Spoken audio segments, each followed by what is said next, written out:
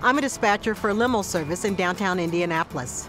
Being environmentally friendly is important to me, so I walk or take the bus to work to reduce my carbon footprint and save our resources. Riding the bus lets me avoid the hustle and bustle of commuting downtown, and I can do my part to help the environment. I don't start my car as often because I let IndyGo do the driving. My name is Madonna. I'm driven to be environmentally friendly, and I'm driven by IndyGo, Route 19.